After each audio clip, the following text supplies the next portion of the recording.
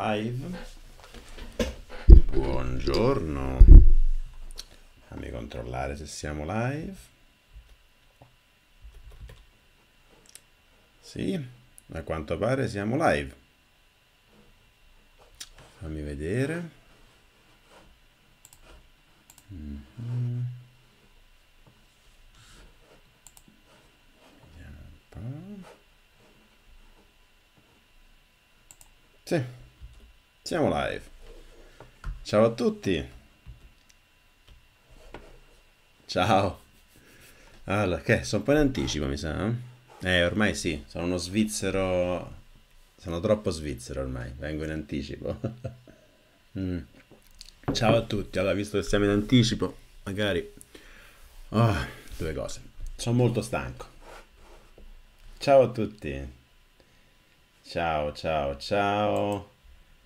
Nuova webcam? Ma no, è, ce l'ho da due tre, da due tre settimane. È una Logitech Streamcam. È, è molto performante, ma in realtà no, è una, una web, webcam da 130 euro. Però meglio della ciofega che avevo con il mio laptop. Va molto meglio. Ciao a tutti, ciao ai soliti, ciao Marco. Ciao Francesco. E guarda che qualità, addirittura. uh, ho visto anch'io del traffico da Reddit, ma non, non ho capito da quale thread. Se me lo puoi linkare da qualche parte, sto un po' poco su Reddit. E c'è anche, anche, il grande Flavio. Che onore averti qua. Per chi non conosce, Flavio, Flavio Copes, Co, Flavio Copes, come si pronuncia? Ehm, è un famoso blogger tecnologie cose varie. L'ho anche menzionato una volta in un thread sui Digital Garden, per cui gra- grande. Welcome. bon, ragazzi. Allora, sono, sono, sono abbastanza stanco today. Mm. E, e, e, e non so cosa, sono due settimane che sto semi... non sono influenzato, non ho un po' di, di raffreddore, tosse, quindi se oggi faccio se oggi faccio un po' di omaggi a Bertolucci non ve la prendete. Ho testato Covid negativo, quindi boh, non è Covid, non sappiamo cos'è, però sono debole. Sono giorni che, che sto Boh, non, non, faccio molte cose. Ho neanche voglia di bloggare, non ho voglia... Ho avuto un marzo pam pam, è l'età, sarà l'età. Sono vecchio e devo accettare... uh-huh. Sì, sì, penso di aver capito, non ho visto che thread è. Poi me lo... Me lo... lo vedo. Marco, sì, è una chiave inglese sul nome utente? sei stato eletto meccanico del canale, sì, ti ho, ti ho fatto moderator della chat, come si dice. Adesso hai grandi poteri, con grandi poteri derivano grandi responsabilità.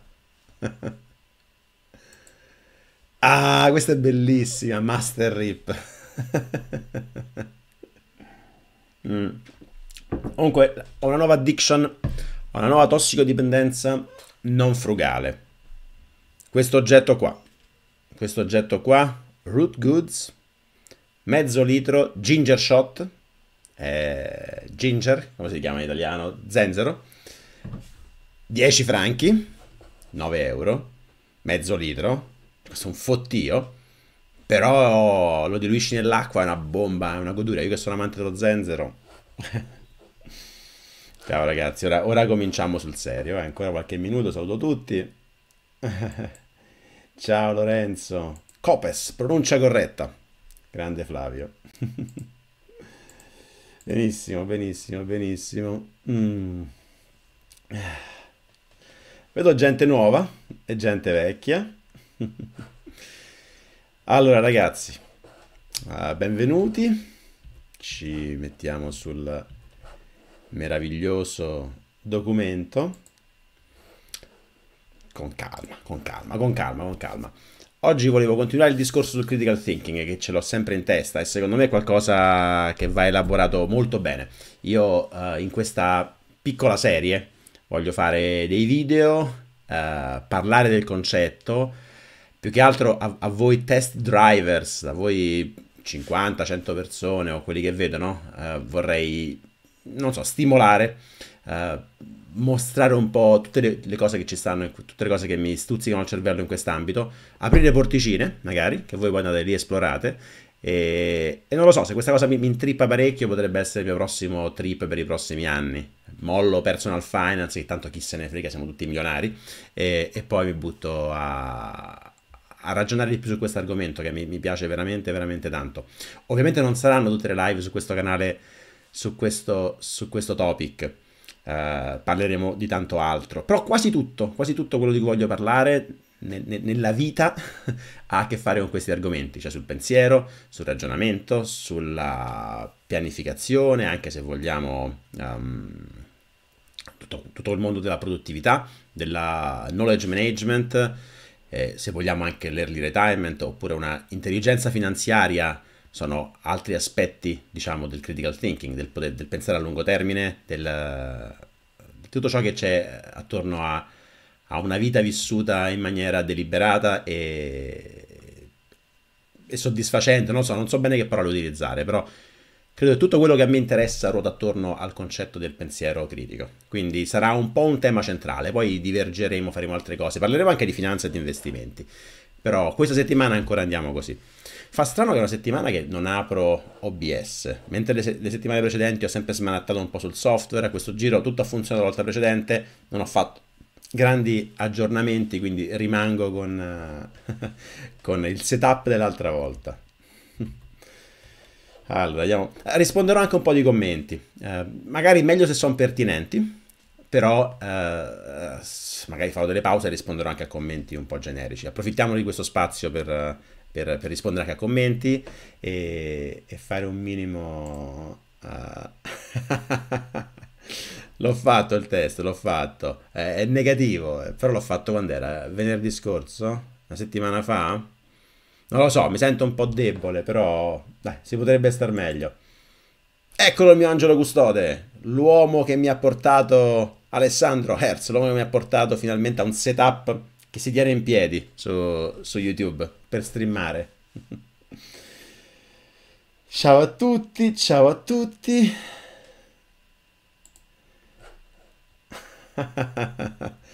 sì, c'è la moneta da 5 franchi. Sì, qui in Svizzera c'è la moneta più cara del mondo. E quasi quasi, forse... No, non ce l'ho qui. Ce l'ho sicuramente nel portafoglio. allora, vediamo un po', dai. Um, un po' di domande prima di cominciare. Marco, ciao, ho visto indifferito una tua live e mi è sorta una domanda spontanea. Dicevi, ho ceduto alla cena da sport 40 franchi.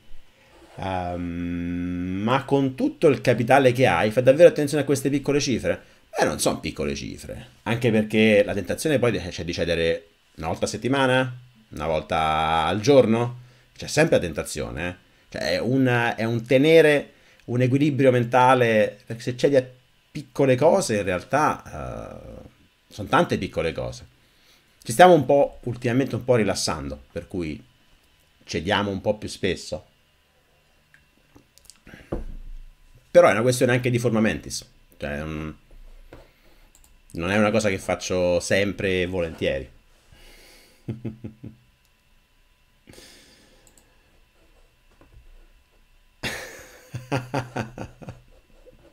esatto, esatto. Via, molla tutto il resto. Ciao nonno Tom. Ciao Nicola. Ciao Andrea. Ciao amico cinghiale. Bene, bene, bene. Ormai sembra di stare tra amici. allora, ragazzi, ragazzi. Partiamo seriamente. Mm. Dove sta il mio software? Eccolo qui. Allora, per tutti coloro che aspettavano con trepidazione il momento in cui andavo in televisione, stasera Stasera c'è la prima, zoomiamo un po'. Stasera parte su RSI la 1, che sarebbe la Rai 1 svizzera italiana. Quindi se vogliamo la Rai 1 della, della Svizzera del Canton Ticino. Cioè, immaginate qualcosa del tipo Uber, non si parcheggia lì, boom, non so se avete visto Aldo, Giovanni e Giacomo ai tempi di Medire Gol, ma non so quanti di voi erano nati. Uh, Canton Ticino ha 800.000 abitanti e, e la, le, le, la, RSI, uh, eh, che sarebbe la televisione svizzera, il canale La 1, che è quello del, del, del Canton Ticino, uh, ha diverse trasmissioni molto interessanti, veramente molto molto bene in lingua italiana, non so se si vedono dall'Italia. Spero di sì, non, non, so, non credo, non lo so se si vedono dall'Italia. Però delle trasmissioni molto interessanti.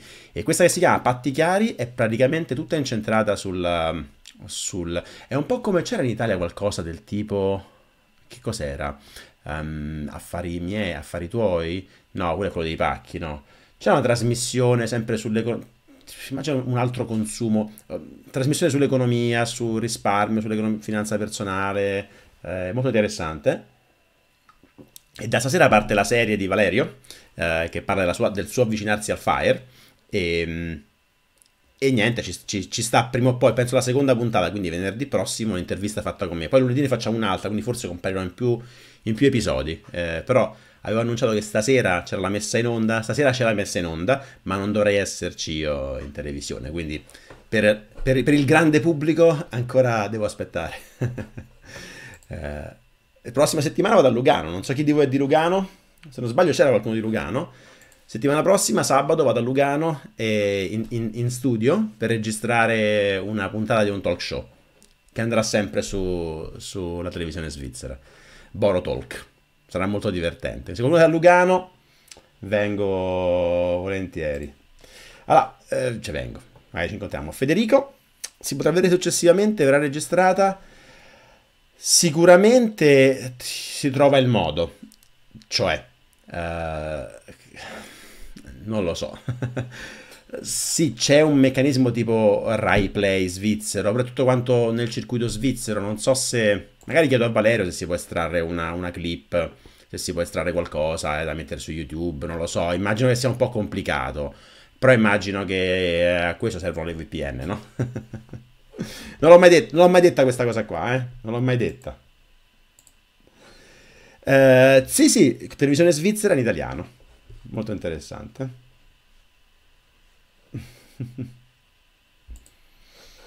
uh, solo 350.000 abitanti il Canton Ticino? Oh, davvero? Mm, non sono convinto. Abitanti, Canton Ticino. Vediamo. Porca miseria, hai ragione. Uh, le mie statistiche erano diverse. Uh, lingua italiana in Svizzera. Mi sembra che... Um, mi sembra che ci siano circa 800.000 di lingua, forse sì, ho mischiato un po' di cose.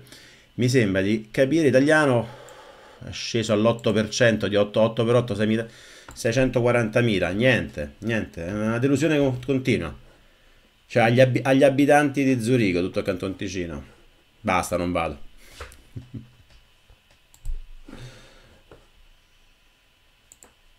Dai, rispondo qualche domanda al volo, poi partiamo con gli argomenti che sono più interessanti. Allora, il peggior contro del vivere in Svizzera. Il peggior contro del vivere in Svizzera, probabilmente la... Io vivo in Svizzera tedesca, quindi sicuramente la difficoltà di integrazione con la cultura locale. Eh, gli svizzeri, svizzeri svizzeri non è che sono proprio caldi, non è che sono proprio familiari. Sono persone gentilissime, tranquille, sembra proprio come il Giappone. No? Il Giappone tutti quanti, tutti quanti, che bello, che bello, che bello, però non è che la gente ti invita a casa, non è che fai amicizia facilmente. Ovviamente qua a Zurigo il 40% circa, uh, 35-40% degli abitanti di Zurigo non sono svizzeri e tutto il mio network è italiano, inglese. Buona parte dei, dei, dei, del, dei, documenti che trovi ufficiali online li trovi in lingua anche italiana perché è una lingua ufficiale, quindi non è un grande problema, però non ti senti mai completamente integrato. Adesso mia figlia adesso comincia ad andare nelle scuole qui, eh, scuole nella Kinderkrippe, nella, come si chiama, nell'asilo nido, e comincia a parlarmi in svizzero tedesco, che non è neanche Hochdeutsch, non è neanche tedesco, è proprio svizzero tedesco, che è un dialettaccio. Immagina, non lo so, tu sei un giapponese, viene a vivere in Italia e va a vivere in, non lo so, va a vivere a Roma e gli parlano solo dialetto romano. è un po' tosta integrarsi. Questo forse è il peggior contro. Per il resto non vedo veramente, veramente altri aspetti negativi. Il clima, d'estate è uno spettacolo, ragazzi. D'estate qua a Zurigo fa 30 gradi fissi, non si muore di caldo, non ci sono zanzare. La sera si sta freschi, ma di giorno fa 30 gradi. Giri a maglietta a maniche corte e ti vai a buttare nei fiumi. È una figata. Cioè, non lo so, non vedo altri aspetti negativi forse i costi di vita molto elevati, però dipende cosa vuoi fare, se qui lavori hai uno stipendio e via. Ah, rispondiamo a una cosa tecnica. La mia voce leggermente diversa, upgrade attrezzature. No, il microfono è sempre lo stesso. Um, no, no, nulla di... Forse sono io che sono un po' più radiofonico, ho imparato le lezioni e quindi sono molto radiofonico. E quindi ragazzi, da oggi Radio Rip si trasferisce su... sull'internet. Allora, troppe domande, ragazzi. Non partiamo mai, non partiamo mai. Non abbiamo restrizioni di, di esponenti tra cantoni. Gli svizzeri puri parlano la lingua del loro, del loro cantone, che è o tedesco, italiano o francese. 60% tedesco, 30 francese, 10 italiano.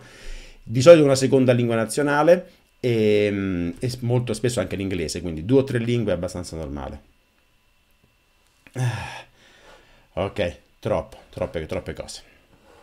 Dai, spero che vi interessi l'argomento, eh? se no facciamo solo QA e ci rilassiamo, ma volevo un minimo fare un po' di cose interessanti, mi, mi preferisco, preferisco anche per voi. Allora, zoomiamo un po'. Mm. Critical thinking. Critical thinking, critical thinking. Cosa, abbiamo visto l'altra volta più o meno un po' di definizioni e tutto il concetto delle logical fallacy. Ok, aspetta, me lo metto di qua, se no sembra che guardo sempre di lato e non mi piace. Mm. Ok, adesso ci, ci assestiamo. Uh, oggi, oggi, oggi volevo andare un po' negli aspetti più costruttivi, quelli che mi piacciono di più a me, cioè nel costruire, come costruire la propria knowledge base. Cosa intendo? Sto molto improvvisando, eh, ragazzi, sto molto... non mi sono preparato un granché bene. Spero di mm, stimolarvi un po', aprirvi porte. Poi nel tempo, quando eh, mi riascolterò, farò delle modifiche, magari produrrò contenuti più, più di qualità. Adesso accontentatevi di, sto, di sta confusione continua. Allora, cosa intendo per costruire una knowledge base? Intendo dire, uh, viviamo in un mondo come dire, super caotico e super pieno di informazioni di ogni tipo e navigare è impossibile. Quindi, quindi al giorno d'oggi credo che farsi delle autodifese intellettuali sia veramente uh, necessario. Se no, se no siamo in balia delle, delle informazioni sbagliate, prendiamo, facciamo scelte sbagliate, non, ci, non, viviamo una vita, a mio avviso, ottimale se non, se non prendiamo, dire, se non prendiamo di petto il... Uh, se non siamo intenzionali nel come, come, apprendere informazioni, come elaborarle, come costruirsi dei modelli mentali e così via. Mm, quindi la parola chiave per me è intenzionalità, è scetticismo e, e conoscenza al momento. Ok? Cosa, cosa intendo? Scetticismo ovviamente eh, intendo esattamente quello che la parola uh, suggerisce. Cioè non prendere mai nessuna informazione così com'è, ma perché balla tutto? Ma ragionare sempre e partire da un presupposto di uh, non ci credo finché non vedo coi miei occhi. Ok? Questa è, la, è alla base del, del, del, del pensiero critico tra i principi cardini dello scetticismo ci sta il um, fondarsi sulle evidenze, essere data driven, quindi secondo me funziona così. Aspetta, che dati hai a supporto? C'è un fantastico critical thinking cheat sheet che è abbastanza famoso, interessante, non è che sia omnicomprensivo, però questo è un buon punto di partenza quando si analizzano informazioni che ci arrivano addosso. Ok? Cioè, questo è diviso tra chi, cosa, dove, quando, perché, come, ok?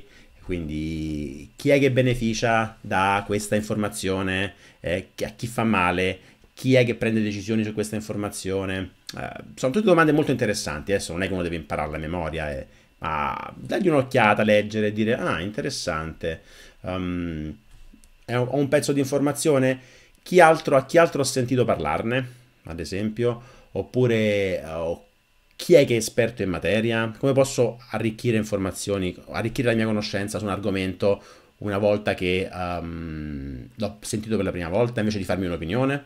Sono domande che aiutano a, mm, a, a, raccogliere le informazioni e fare il lavoro necessario per avere un'opinione, che vi ho condiviso un articolo la volta precedente.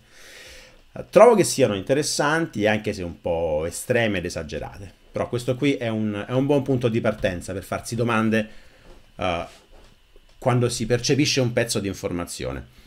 Ovviamente informazioni ce le abbiamo noi di varia natura, abbiamo informazioni che ci arrivano addosso e informazioni che scegliamo noi di approfondire. Io sono su questo qui molto molto molto intenzionale.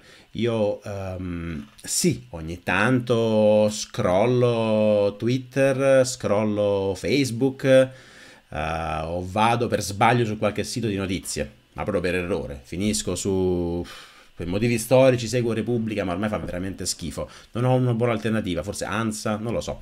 Per notizie italiane, notizie internazionali o altre fonti, New York Times per esempio. Diciamo che però evito il più possibile di, di essere passivo, di andare su una sorgente e vedere che notizie mi propone. Ok? Abbiamo tantissime, tantissime, tantissime notizie che ci arrivano addosso. Cerco di essere molto più um, attivo. Quindi la prima parte che vediamo, a cui sono molto interessato, è, è il concetto di input. Mm?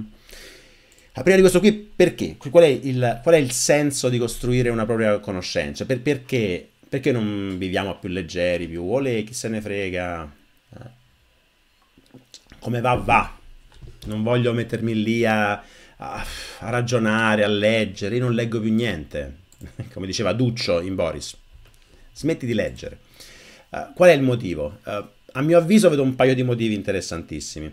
Come sempre, il primo è l'autodifesa, no? Come ho detto, uh, siamo bombardati, meglio costruirsi una barriera, altrimenti siamo veramente... Uh, abbiamo completamente abdicato sul libero arbitrio e siamo completamente a- allo sbando. Questo non va bene. vedo gente che si muove qua sopra. Facciamo che al momento, per evitare spam, io mi metto a fare viewing così non vedo chi se qualcuno fa cose brutte. Ok, arrivo. Non scrivete parolacce, non commentate male, se no siamo live. Devo ricordarmi di levare i commenti uh, mentre sono live, perché chissà. Um, dicevo, autodifesa, prima di tutto. Autodifesa. Uh, poi il concetto di eh, literacy io non so bene come si, come si traduca in italiano literacy. Literacy è conoscenza, uh, essere...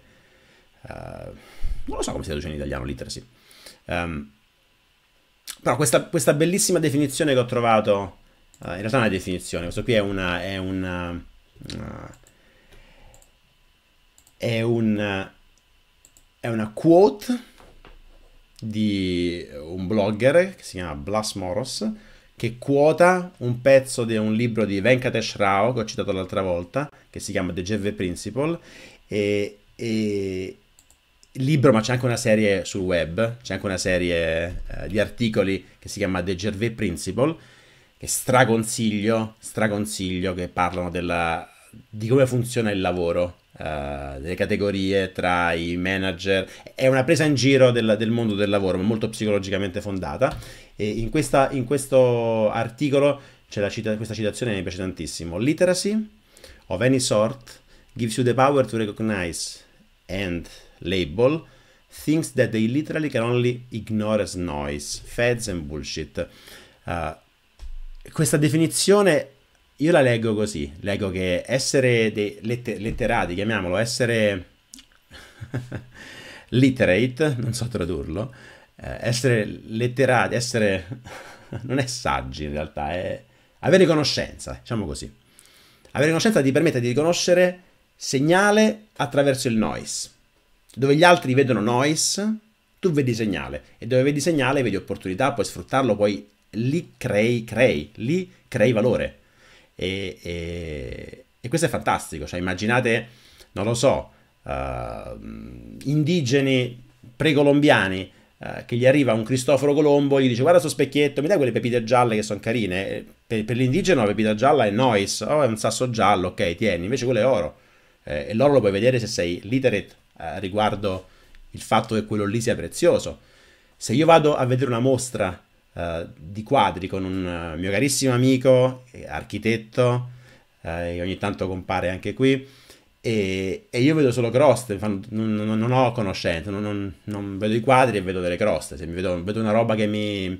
un quadro che mi piace, però non, sono molto literate a riguardo, quindi vedo solo monnezza.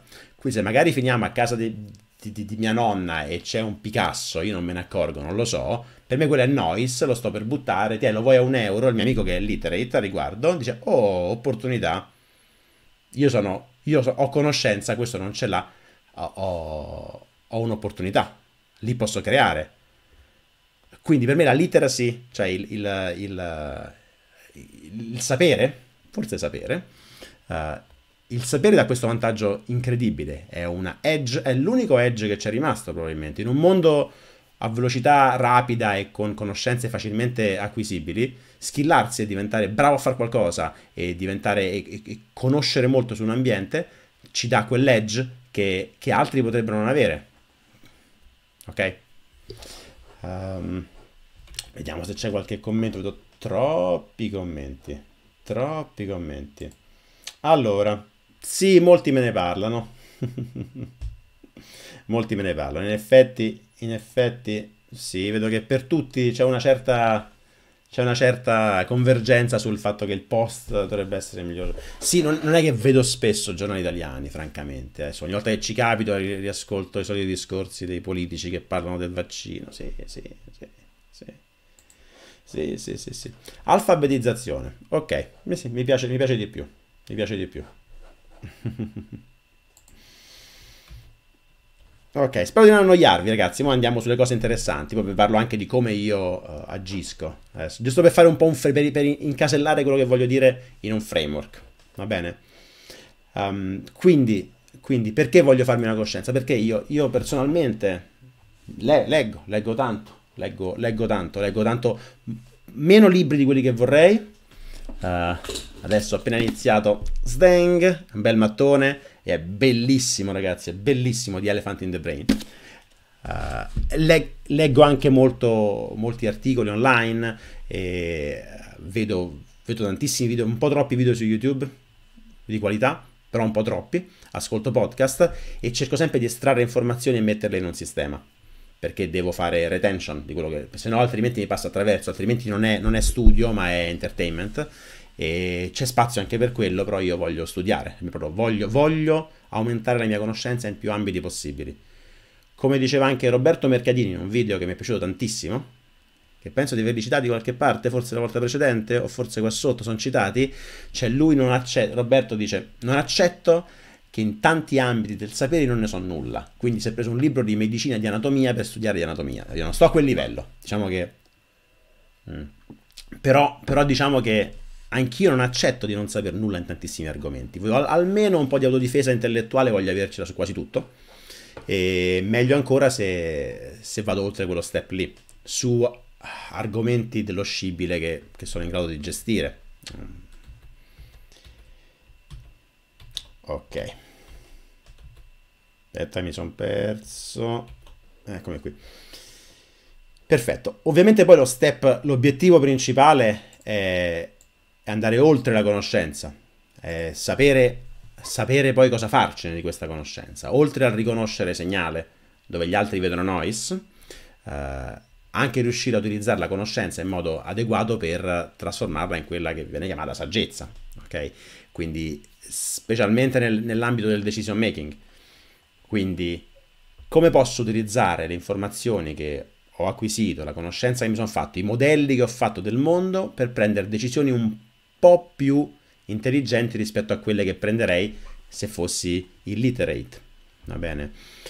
Trovo che uh, tutti facciamo tantissime cose a caso e siamo guidati molto anche dalla fortuna.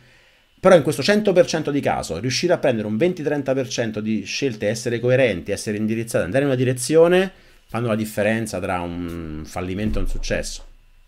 Anche le persone di successo fanno il 70% delle cose a caso, o sbagliato, o palesemente sbagliate. Però essere coerenti con 20, 30, 40, 50% delle proprie azioni, andare in una direzione intenzionale, eh, skillarsi in un ambito, sfruttare queste skill, eh, essere fortunati, eh, costruirsi la propria fortuna, fanno la differenza completa. Non vi immaginate che chi ha successo è uno che è perfetto al 100%, tutti fanno cazzate di ogni tipo, però chi le fa di default, chi ragiona sempre eh, short term, chi fa cazzate di default, non va da nessuna parte. Chi invece riesce a, a rendere un po' coerente eh, le cazzate che fa, eh, può arrivare un po' ovunque. Ecco, l'obiettivo cioè, mio, personale, da, da, da, da novantenne, voglio essere la persona più saggia del mondo. Chissà come si fa, non so, se, non so se, se vale la pena questo bellissimo articolo di Paul Graham un po' smonta giù, smonta giù il concetto di saggezza. E, in realtà c'è un bel twist finale. Non ve lo spoilerò, se volete leggetelo, è un capolavoro. Ma ovviamente sul concetto di saggezza sono, sono state scritte miliardi, miliardi, miliardi di cose. La filosofia più o meno lavora quasi esclusivamente su quello. Quindi ci sarà, ci sarà chi ne sa tonnellate di più. Arriverò lì, con calma. Ok, la macchina per, per costruire... Questo è l'obiettivo, no? Costruire una macchina uh, chiamata me, Giorgio, che, che, acquisisce conoscenza, la sfrutta, la mette in pratica um, e piano piano trasforma questa conoscenza in saggezza. Qui scatterebbe la citazione di Michele Laporta, fatto da Guzzanti, non so in, che trasmissione era, la conoscenza, la saggezza, forse, altrimenti lui muore. Ma questo è solo per chi ha dai 35 anni in su. Mm, prima di muoverci sulle cose più cool, fammi rispondere a qualche commento. Ok?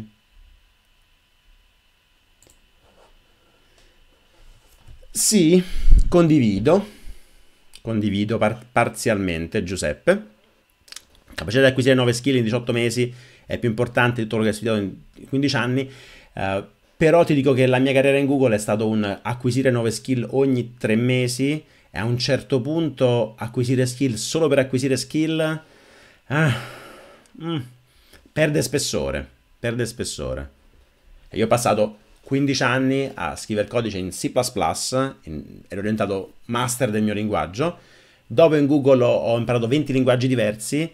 Um, non lo so, sì è importantissimo, oggi potrei saltare su un progetto nuovo e da zero mm, probabilmente la, la mia learning curve è molto più bassa perché sono diventata una macchina allenata ad imparare cose nuove. Però ci deve essere anche un qualcosa dietro di passione, ci deve essere un qualcosa dietro di un obiettivo di una, qualche master, in mia opinione. Eh, non, non, vedo, non vedo semplicemente diventare una macchina che apprende velocemente, di per sé potrebbe non essere l'obiettivo. Ah, bene, bene, belle domande. Che impatto ha avuto su di me Design Your Life? Molto, molto, molto, molto, molto, molto profondo. L'ultimo libro che ho letto, l'ho letto in tre mesi, perché l'ho letto, ho fatto gli esercizi e, e uh, sta avendo un impatto profondo perché sto riprogettando la mia vita. Mi sono fatto le domande, ho fatto gli Odyssey Plans e in questo momento sento di star ridisegnando la mia vita. Quindi ha avuto un impatto molto profondo eh, e lo consiglio a chiunque sia in fase di crisi o in fase di inizio carriera, anche soltanto per coloro che dicono ah non trovo lavoro, come si trova lavoro, che consigli mi dai? Eh, ci sta un bellissimo capitolo che si chiama How to not get a job. Ah, io li sottolineo i libri, li, li, li, li violento i libri, li, tratto malissimo, li, sottolineo, faccio quella che si chiama marginalia. Cercate keyword marginalia. Uh, e quel capitolo e quello successivo sul networking per me sono dei, delle gemme. Quindi se non avete letto il libro trovate molto online, anche, lì, anche gratis. Però è un libro che secondo me chi sta in crisi mistica o chi deve iniziare una carriera, vai.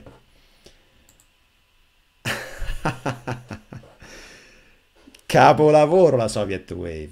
Capolavoro. Capolavoro. Capolavoro. Dove sta qui? Io ormai, ormai è una roba incredibile. Eh, la mia musica di default di ascolto in questo momento è Soviet Wave. Vabbè, qui è lento da caricare mentre, mentre siamo in live. Mm. Altro paio di, di, di, commenti, poi andiamo avanti. Eh? Ah, magari, magari. Penso che sia la persona con cui vorrei collaborare più volentieri. Ovviamente i suoi due video, i suoi due video sulla sua storia, la parte 1 e la parte 2, che parlano di quando, lui, di, di quando lui era software engineer e c'è un pezzo di quel video in cui lui racconta che il suo amico da Silicon Valley arrivava, gli parlava in termini ingegneristici e lui non capiva più niente e sentiva che era un'altra persona. Li ho visti dieci volte i video sulla sua storia. Eh, capolavoro, lo sento veramente molto vicino. Allora, ok, domanda pertinente. Dove e come raccogli le informazioni e nozioni importanti che acquisisco? Uh, un tempo usavo quasi esclusivamente Google Drive.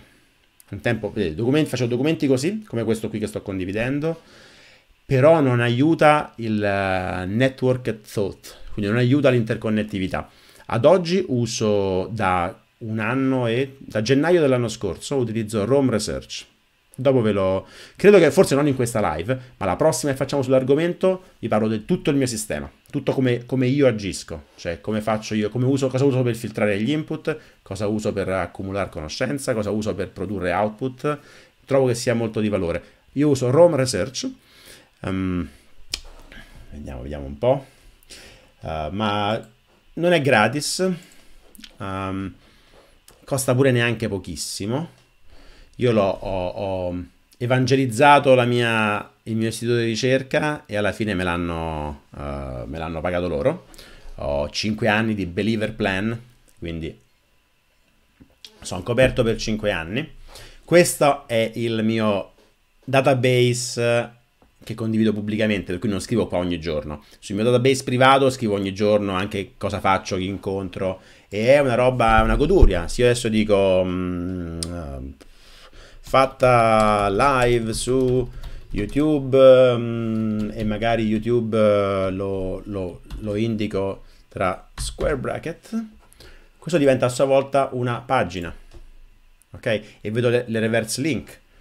Quindi se io non so, se io oggi dico, um, non lo so, voglio ho detto ho letto, ho letto um, Designing Your Life, tra l'altro ce l'ho anche già che anche in questo qui lo, lo leggo, l'ho, parlato, vado sul libro e trovo tutte le referenze a, a, questo libro. In realtà poi del libro Design Your Life ho anche estratto note e, e, e alcuni argomenti, aggiungo mie note, mie riflessioni, questo è condiviso pubblicamente, lo trovate se andate sul mio blog e cercate Design Your Life.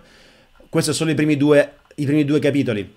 Um, idee, uh, mie note, anche il link ad esempio, ah questo lo trovo molto molto simile a quest'altro concetto, quest'altro concetto di per sé è un'altra pagina, uh, è una goduria, oppure uh, taggo argomenti. Farò una live apposta su come io utilizzo Rome Research, tipo non so, questo per me parla di curiosità, perfetto, Curiosity di per sé è una pagina che ha uh, vari riferimenti. In questo, in questo, database solo due riferimenti, nel mio personale ne ha un miliardo. Questo pubblico prima o poi lo, lo arricchirò. Uh, però utilizzo Rome Research.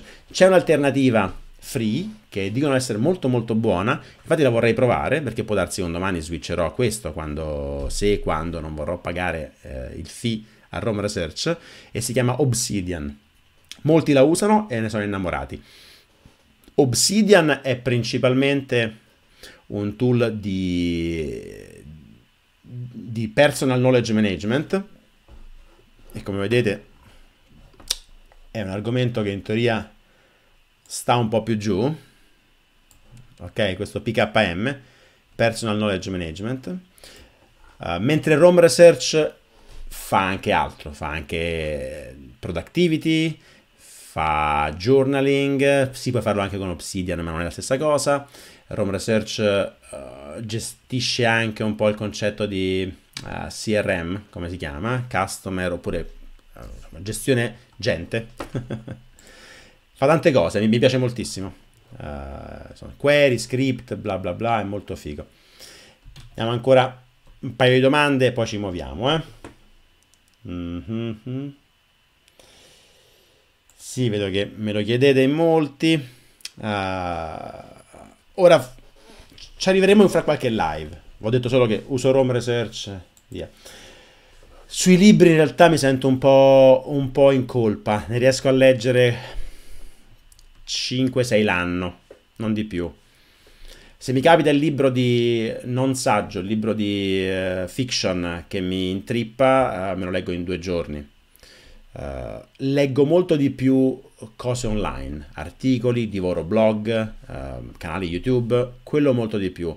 Trovo che ormai la, la, l'acquisizione di conoscenza lineare che ti dà un libro sono, sono in conflitto. Sono in conflitto. Ti trovo anche articoli che ti dicono come sia difficile ad oggi e come non sia garantito che il miglior modo per acquisire sia leggere libri. Um, c'è bellissimo, bellissimo, ma bellissimo, proprio bellissimo. Un altro personaggio che vi consiglio è Andy Matushak e ha fatto Andy Matushak ha, un, ha delle note che sono una goduria. E Books Don't Work. Why Books Don't Work? E è molto controversial come argomento ma Andy ha, ha scritto dei, dei, dei, degli essay su, sull'apprendimento, sulla conoscenza, che sono meravigliosi. E, e, questo spiega del perché, perché può darsi che la lettura di libri a me mi ha trovato un po', un po', in, un po in eh, non necessariamente concorde perché smonta un po' di, di, di, principi proprio fondamentali di come noi impariamo e, e ve lo consiglio Andy Matushak Why Books Don't Work detto questo Ovviamente lo dico solo per giustificarmi perché sto leggendo pochi libri, però mi sento sempre più in difficoltà nel leggere libri ultimamente. Mi sen- sento che leggo un libro e la mente va ad altro. Leggo una parola e vorrei fare ricerche connesse. Ci metto molto tempo a leggere un libro, molto molto tempo. E talvolta non andrebbe fatto così. Dovrei riuscire a spegnere il cervello, concentrarmi sul libro, leggere il libro. Uh, io leggo ancora libri cartacei.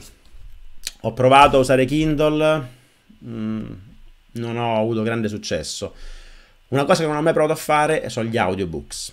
Um, so, che, so, che, chiunque li usa dice che, che, se ne leggono, si legge molto di più. Non ho idea di quanta possa essere la retention delle cose che leggi sugli audiobook. Non, non lo so. Potrei provare, potrei sperimentare. Potrei sperimentare. Sono un po' pigro in questo qui. Diciamo che... Però la risposta è libri ne leggo non troppi, ma articoli, altre forme Altre forme di, di, di immagazzinamento di informazione ne faccio fin troppe.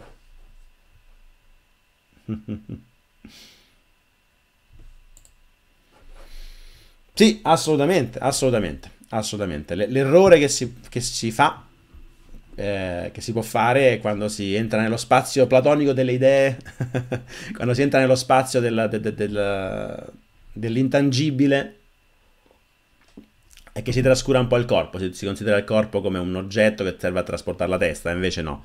Uh, siamo purtroppo, per fortuna, uh, abbiamo ancora un cervello che si è evoluto in, in milioni di anni, uh, parlo da quando esiste l'Homo, che ha altri...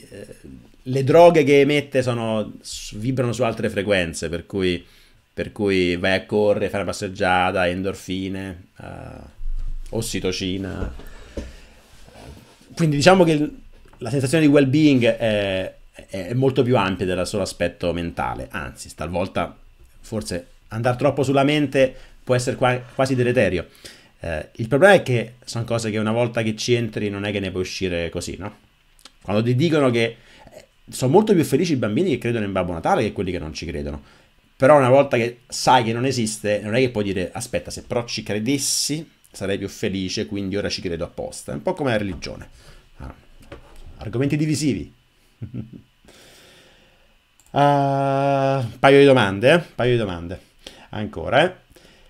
Si vede che Masterclass, sì, mi hanno regalato, un mio caro amico mi ha regalato l'abbonamento a Masterclass, L'ho, ho fatto un paio di cose, sembra carino, non trovo il tempo, eh, non mi sembrano um, corsi in profondità, però è figo vedere Serena Williams che ti insegna a giocare a tennis uh, o, o sentir parlare, um, aspetta chi è, Daniel Negrano di poker o Dan Brown su come si scrive un libro. Sono molto leggeri però. Allora, non è Notion, Rome non è Notion, è un po' diverso. Notion è più orientato al workflow, Rome è più orientato al spontaneous, uh, cioè non c'è gerarchia, ogni nota è sparsa e le, le, le connessioni le crei perché, perché, perché, parli di argomenti e li ritagli e le tag creano connessioni, crei dei backlink che sono fantastici. È un po' diverso. Notion non, è, è più orientato alla produttività. Ok, bene. Top, top. I video sulla storia dei mercatini, top. Uh, Go the quanto ci ho messo a leggerlo? Uh, penso tipo due anni. non leggevo solo quello. Io uh, adesso non lo faccio più, una volta leggevo 10 libri in parallelo. Perché ogni giorno dico, ok, adesso voglio leggere questo qui, leggevo 20 pagine, sospendevo un altro. Go the ci ho messo due anni. Perché, perché è tosto, è proprio tosto. Non penso di averlo afferrato per, completamente. Eh, l'ho letto più di dieci anni fa, credo, era un'altra persona. Oggi è che ho una coda di lettura infinita, per cui sta lì come, la, come gli altri libri a ricordarmi le cose che ancora non so. Conoscete il concetto di anti-library di Umberto Eco? È molto interessante. Umberto Eco diceva, eh, lui aveva una libreria con sembra 10.000 libri e spesso andavano a intervistarlo dicendo ma maestro li ha letti tutti? E lui dice ma se sei pazzo come faccio a leggere 10.000 libri? Questi stanno qui eh, a ricordarmi le cose che ancora non so. Quindi io quando trovo un libro che mi piace lo compro, lo metto lì. Non lo leggo, non sempre lo leggo. E mi ricordo quanto ancora non ne so su tantissimi argomenti.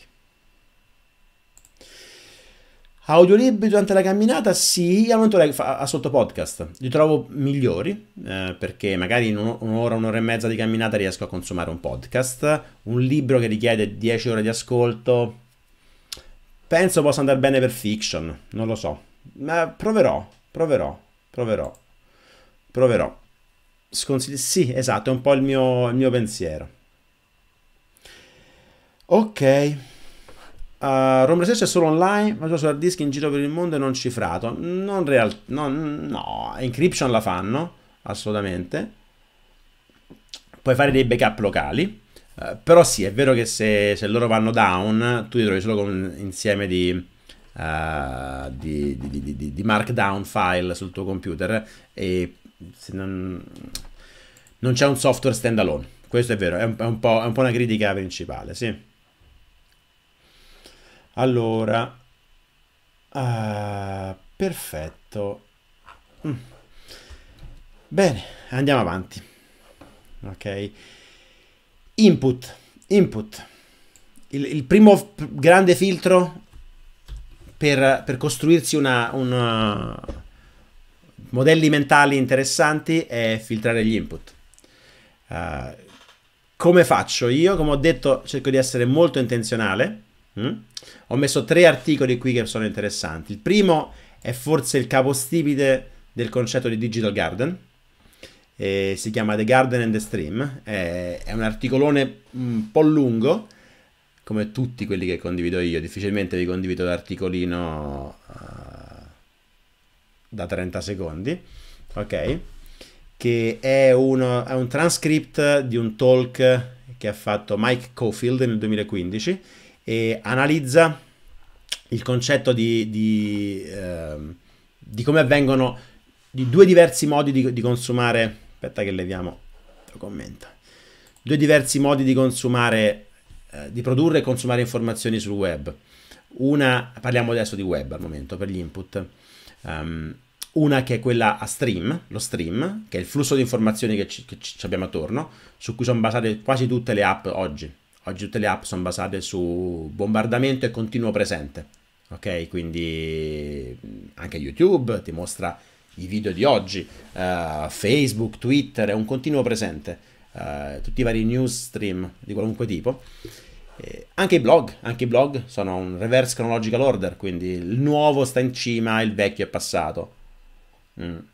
Non mi è mai piaciuto tanto questa, questo modello qua. A me piace sempre costruire cose um, più evergreen. Immagina Wikipedia. Wikipedia è una cosa che mi piace. Wikipedia sta lì, non c'è un presente, un passato, non c'è un flusso, non c'è uno stream, ma c'è un, uh, un mondo che cresce. Wikipedia è un esempio di digital garden.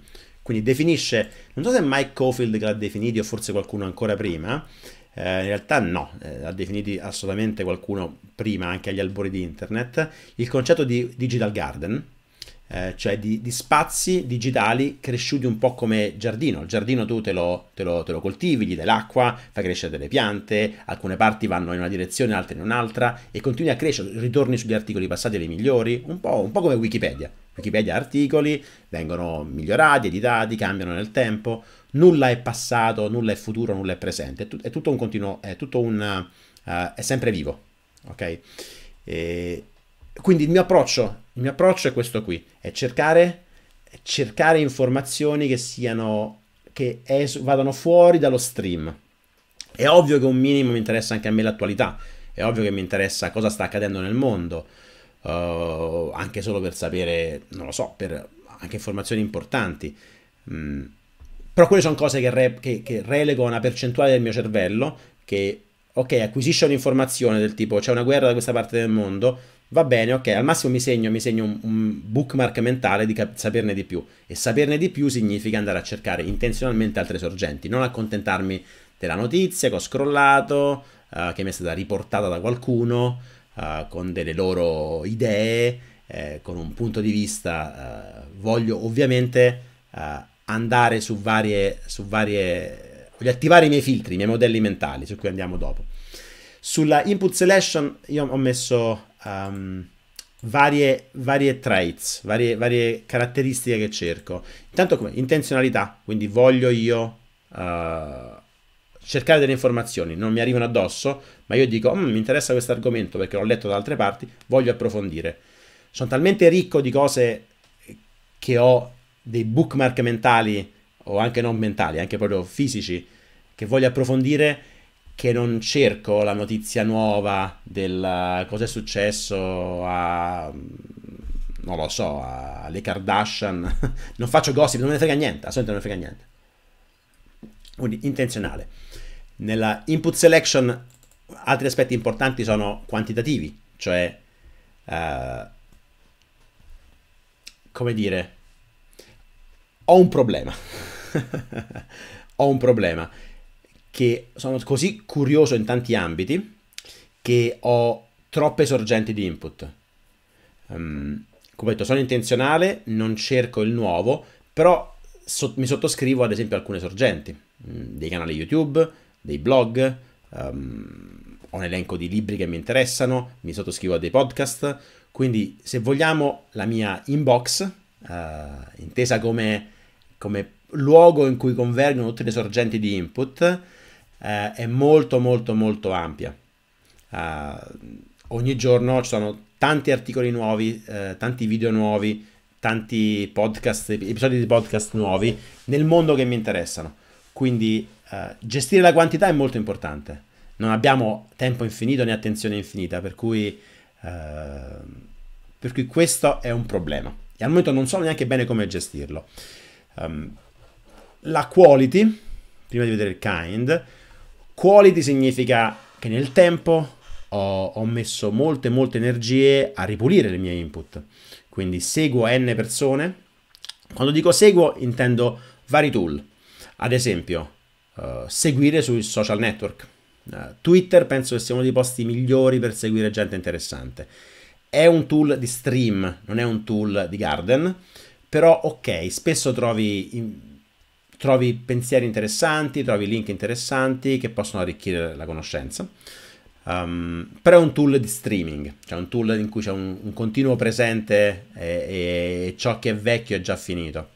Quindi è un po' difficile. Anche lì cerco di essere un po' intenzionale. Su Twitter, magari non so, vedo, non vedo per un po' che, che, che scrive Naval Ravicant, vado sul suo account e vedo cosa ha fatto ultimamente. Quindi essere intenzionali però nei tool di streaming è un po' difficile. Um, quindi come pulisco il mio input? Ho detto uso Twitter, come per, per, per lo trovo uno dei modi, modi più interessanti per, per, essere aggiornati e avere pensieri di alta qualità velocemente digestibili e link interessanti. Non lo so più ormai Facebook, altri, altri, altri social media faccio difficoltà. Uso YouTube molto, quindi su YouTube sono subscribed a tantissimi canali interessanti e il, mio modo con cui consumo YouTube non vado sulla home, non vado su trending, vado su subscriptions. Cioè, io mi sottoscrivo a, a, canali che mi interessano e la mia homepage di YouTube è subscriptions. Uh, quindi il, il, il tab del, del, di ciò a cui sono iscritto, quindi intenzionale. Um, non, non, non, metto mai notifi- notifiche questa è una cosa che uccido assolutamente. Voglio il mio telefono è silenzioso, le notifiche sono praticamente zero. Solo intenzionale, voglio essere più possibile intenzionale. Quindi quando voglio vedere chi mi ha scritto su WhatsApp, vado su WhatsApp e vedo chi mi ha scritto. Quando voglio uh, uh, vedere cosa è stato pubblicato su YouTube oggi, vado su YouTube e vedo cosa è uscito oggi. Niente notifiche, niente, uh, niente, niente disturbi alla mia attenzione. Io intenzionalmente vado su un canale e, e vedo cosa è uscito fuori. Ovviamente c'è un altro step poi. Uh, vado su un canale, vado su YouTube, non su un canale, vado sulla, sulla pagina del, delle subscriptions e vedo che sono usciti 10 video di creators che mi interessano. Ok, perfetto. Al volo vedo i, i due o tre che mi possono interessare e subito li segno come watch later. Quasi mai li vedo appena escono le cose. Non sono proprio il massimo per le live. Quindi col, col, mio criterio oggi non ci sarebbe nessuno. Vediamo un po' se, se, se vi ho cacciato tutti via. Invece siete una settantina, un'ottantina. Quindi non state facendo come faccio io. io non uh, quasi mai vedo un video appena esce. C'è un video che mi interessa, dico ok, watch later, pam pam pam, watch later. La mia watch later ormai ha 300 video. Alcuni dopo un po' devo trovare una, una politica di mandarli in, uh, in, deprecation. Cioè, ok, questo tre mesi in watch later, non lo vedrò mai, addio. Quindi poi cosa faccio?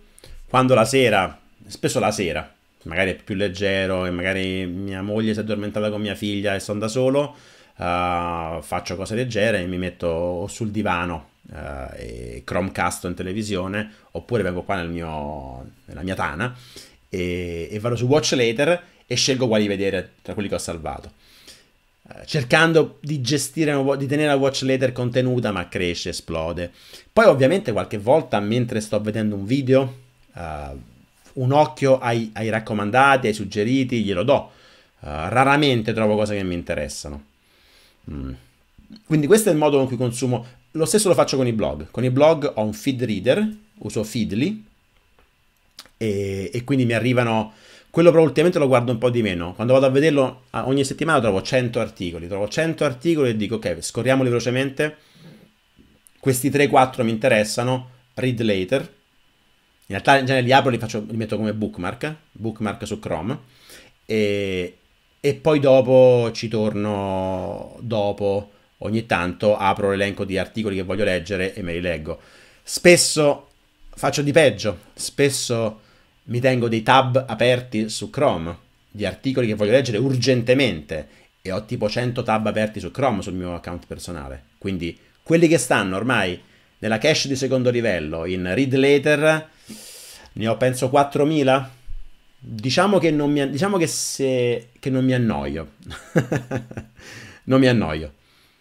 Quindi, e per i podcast roba simile. Uh, escono i podcast, li salvo in uh, listen later, uh, uso um, Google Podcast, lo trovo abbastanza ok, per cui va bene. Sono un po' troppo Google dipendente, d'altronde old habits die hard.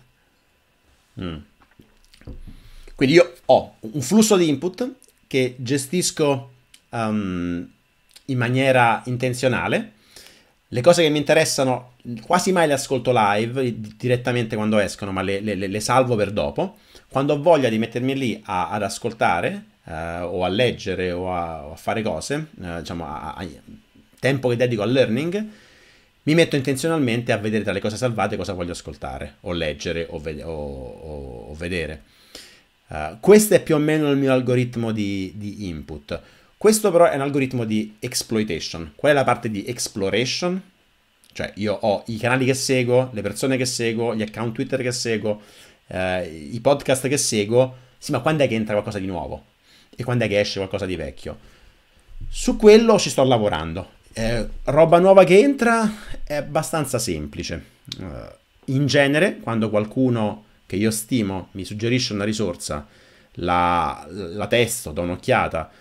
Se più di una persona che seguo suggerisce la stessa risorsa, a quel punto è quasi automatico che entra nel mio stream. La, la guardo, la seguo per un po', leggo gli ultimi 3-4 articoli, ascolto un podcast, vedo cosa, cosa ha prodotto. Se mi interessa la aggiungo, se no magari la, la, la elimino. E ogni tanto, una volta ogni tre mesi, non così, non sono così strict, però ogni tanto quando dico, cazzo, com'è possibile che ho 240 articoli su Feedly in una settimana, non, non ce la farò mai? Allora lì dico, facciamo così, se questo, di questa sorgente gli ultimi articoli li ho sempre skippati, mi spiace, ma devo lasciarlo andare. I have to let it go. Eh, significa che anche cose di grande qualità ogni tanto devo lasciarle andare, non riesco a seguirle. E quindi addio, meglio mollarle. Un'altra cosa che non faccio quasi mai è sottoscrivermi alle mailing list. Il principio è sempre lo stesso. Non voglio gente che gestisce la mia attention. La mia attenzione è mia e me la gestisco io. Quindi, uh, hai fatto un nuovo post? Hai pubblicato qualcosa? Perfetto. Se, sei, se hai un feed RSS, sei nel mio feed lì e quindi ti noterò. Non mi mandare spam, non mi mandare email. Ho già troppi input, non ce la faccio. Con questo sistema di gestione dell'input al momento mi trovo che sono ancora overwhelmed, ho ancora troppo input rispetto al tempo che ho per gestirlo e quindi faccio dei tagli e spesso mi frustro perché dico ho questi 130 tab aperti su Chrome, alcuni sono veramente interessanti, come faccio a non leggere oggi la bellissima guida che è uscita due giorni fa ma proprio bella, bella, bella su, su Deliberate Practice. Vediamo un po' dove sta. Cioè, come faccio a, a, non, a non, allocare i, i, i 38 minuti suggeriti per leggere The Ultimate Deliberate Practice Guide su Farnham Street, che è forse il blog più figo dell'universo? Come faccio? Come faccio? Però è, è, un tab aperto su Chrome personale, devo leggerlo con il giusto interesse e giusto impegno, perché penso che la deliberate practice sia una delle cose più fighe che esiste. Però sta lì con altri mille articoli e su questa mi committo a leggerlo però rapidamente perché è un argomento che mi interessa tantissimo. Però ecco, questa è un po' la mia vita uh, nella gestione degli input. Rubo tempo al sonno, uh, leggo tantissimo, uh, leggo un quarto delle cose che vorrei leggere e, e via. Ovviamente quando leggo, mh, mm, di solito, non mi limito al ok ho letto un articolo, ciao. Di una discreta percentuale di articoli che leggo, fai un 20%, quelli che meritano, di solito ne estraggo note. Cioè dico, oh wow, fighissimo questo passaggio aspetta, no, questo qui l'ho, visto, mi si connette con qualcosa che ho letto da un'altra parte, sembra esattamente quello che ha detto mh, Navallo in quest'altro articolo, oppure oh, questo è in conflitto con un'altra cosa che ho letto da una persona che stimo, interessante, voglio elaborare di più su questo argomento. E, e quindi estraggo note, le butto su Rome, taggo argomenti, taggo persone, mh, che non è che gli arrivano notifiche alle persone, però se poi cerco la persona la trovo, trovo gli articoli in cui menziono questa, questa persona, questo articolo, questo argomento Uh, e ogni tanto, ogni tanto, poco ultimamente, vado anche random sul mio database su Rome a cercare argomenti e dire vediamo un po' gli ultimi articoli che parlano del, uh, dei mental model e trovo cose che ho letto, cose che ho studiato. E questo fa anche da base, se vogliamo, a, al post che pubblico mensilmente. Il mio ultimo post sul blog è, è, quello che faccio mensilmente. Vorrei fare la cadenza maggiore di mensile. Um, ma il mio ultimo post si chiama Monthly Learning Journal. Tutte le cose che io leggo, ascolto, uh, interagisco con, um, le, le, poi le, le, accumulo, scrivo note e le pubblico uh, sul mio blog e do anche accesso al database uh, su, su Rome ad esempio l'ultimo, questo qua, che ho pubblicato lunedì, ci, trovi, ci trovate, se volete, tutto il contenuto che c'è nel blog uh, qui su Rome, col mio voto e, e networked. Vuol dire che se... Oh, Nat Elyson, bellissimo questo articolo. Che altro ho scritto Nat? Che altro ho letto di Nat? Ah, figo, ho parlato di questi tre articoli qua. Mm, interessante, è vero, è vero. Uh, oppure, mm, non lo so, bello questo su Creator Town, menzionato solo una volta. Uh, posso filtrare, è un database. Un database di conoscenza. Oppure, ah, bello questo articolo sugli NFT. Che cos'altro ho letto sugli NFT? Mm-hmm, ok, magari qui nella pagina posso anche prendere note, scrivere i miei pensieri uh, e integrarli con nuova conoscenza che arriva. Questo è quello che più o meno faccio. Piccola parentesi, vedo se avete qualche commento interessante. Ok. Allora, ho ascoltato in I mattoni di Taleb in camminata. e Taleb Taleb è tosto io sono... Non sono ancora riuscito a finirlo un libro di, di Taleb. Uh, ammetto che ho iniziato Antifragile, ma l'ho iniziato 3-4 volte. Trovo che sia difficile. Forse devo leggere in italiano, perché in inglese trovo che sia un linguaggio molto elaborato. E, però i suoi, secondo me, alcuni suoi concetti, specialmente quelli che riguardano Black Swan e Antifragile, per me sono una roba... I concetti base li ho, li ho letti, appresi e metabolizzati tramite altri canali. Ho, ho, letto recensioni, ho letto dei mm, book reviews. Non sono riuscito a finire Antifragile, Devo, vorrei riprenderlo. Poi lui è molto sulla probabilità, a me piace tantissimo la probabilità. allora... Sì, Miro l'ho sentito nominare, non l'ho mai provato non l'ho mai sentito Comunque, in ogni caso, stanno nascendo miliardi di opzioni in questo mondo. Veramente miliardi, miliardi, miliardi di, di, di, di app per connettere il pensiero. Um, per prendere appunti anche Evernote va bene. Il problema del, quello che Roma ha portato di nuovo è, è l'assenza di gerarchia. Cioè non, non c'è una... Non, non, è un albero, hai una... hai un caos. È un caos bello. È un caos che fa emergere cose. E Obsidian fa lo stesso. Miro non lo conosco, so che era buono per prendere appunti, non so se, non so se fa il... non so se ti aiuta anche questo qui. Um, no, non ascolto il podcast di Lex Friedman. Ecco, questo input. Se altre, altre, persone me lo segnalano da altri canali um, diversi, uh, lo, lo, prendo in considerazione. Uh, Ah, bellissimo. Non lo trovo snob Twitter in realtà. Lo trovo veramente interessante. Interessante. Sta diventando. Ho visto anche video su YouTube su come, far, come costruirsi un audience su Twitter, queste cose che poi diventano marketing e mi danno fastidio.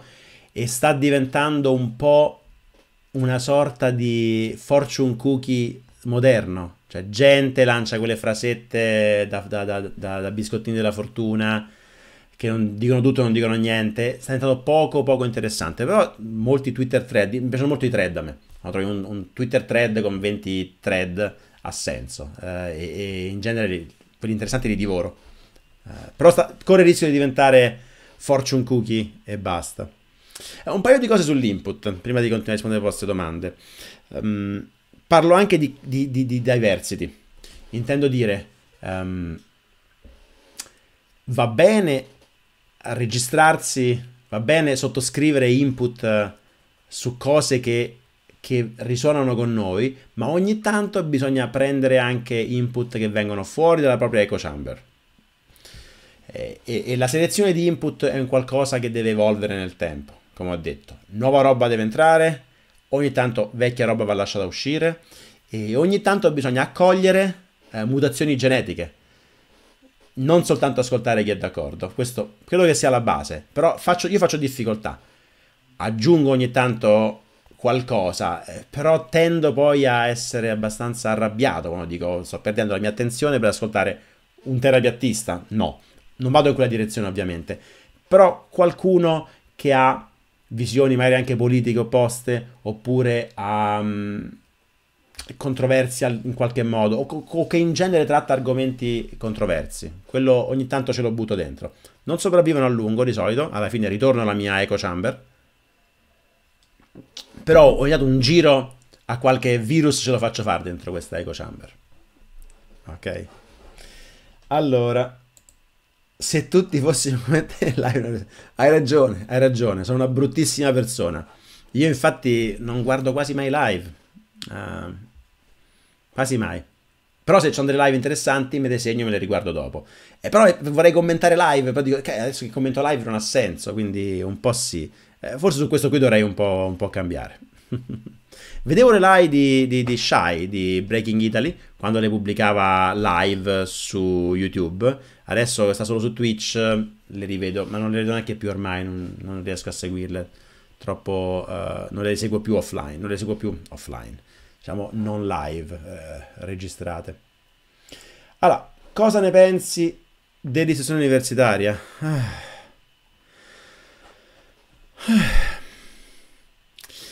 Sì, oggi se ne potrebbe fare a meno solo se sei già laureato. Quindi se ti prendi una laurea, poi arrivi a scoprire come fare a farne a meno di prenderti una laurea. No, nel senso che probabilmente sì, probabilmente oggi uh, una laurea è uno strumento di signaling, di virtue signaling.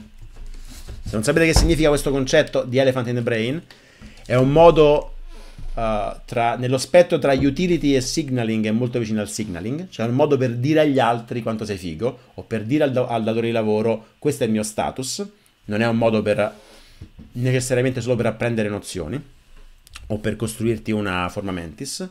Dal punto di vista prettamente mm, um, di acquisizione informazioni, probabilmente informazioni, è brutto acquisizione informazioni, uh, di costruirti una conoscenza su un argomento, probabilmente se ne potrebbe fare a meno. La università universitaria ha altri vantaggi. Primo, in termini di commitment, uh, che non, non, non, dimentichiamoci quanto è importante il commitment, eh? perché è uguale, è uguale uh, fare palestra da solo o avere un personal trainer, però statisticamente, se andiamo a vedere i numeri, avere il personal trainer, cioè avere gli esami da fare, è un commitment che può aiutare. E secondo ha, ha vantaggi dal punto di vista del networking eh, e poi restano i vantaggi del signaling, cioè del dire alla società ehi Google vuoi assumermi? C'è un bel pezzo di carta, eh? indipendentemente da quello che poi uno ha, gli è rimasto di quel pezzo di carta. Però avere il pezzo di carta aiuta. Però sì, dal mio punto di vista oggi uh, fanno, fanno un po' ridere le persone che vanno a prendersi la seconda laurea a 40 anni. Quello è, fa molto ridere o a 50 o a 60, fa veramente ridere. Perché il valore del è tutto signaling povero, tra l'altro, no? Perché neanche vai a cercare lavoro a 60 anni perché hai preso la laurea. Cioè, io oggi vorrei, vorrei prendermi l'equivalente di una laurea in filosofia, uh, però mi, mi, mi, pre- mi, tiro giù dei piani di studio, degli argomenti, eh, me li studio per conto mio, faccio network, ne parlo con gente saggia, con gente che l'ha studiati, non, non mi servono a fare gli esamini e prendere il voto e prendere il pezzo di carta. Quindi credo che le seconde lauree sono una roba da poveracci. Uh, però la prima laurea a 20 anni, non, non, hai, non, hai, niente di meglio da fare. Pensare che uno a 20 anni è in grado di costruirsi un percorso simile universitario da solo è un po' follia. È meglio, è meglio ancora affidarsi a questi sistemi qua.